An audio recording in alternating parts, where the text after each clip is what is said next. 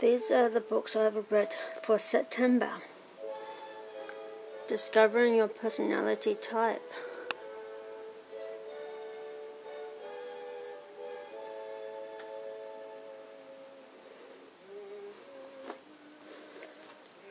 Van Gogh.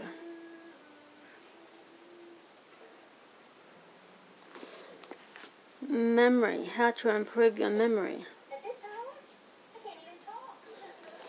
Be bold.